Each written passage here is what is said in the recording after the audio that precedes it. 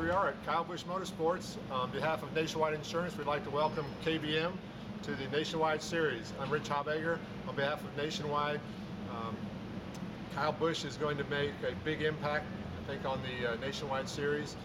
We're going to uh, look forward to having them in victory lane many, many times during the season. But Nationwide is beginning our fifth season as a sponsor of the Nationwide Series, and uh, fans, we invite you to go on NASCARNationwideSeries.com and check out all the latest happenings and news items on the series. I want to thank Kyle Busch Motorsports Racing for participating in the Camping World Truck Series. And if you're out traveling, make sure you stop at a Camping World location in that area.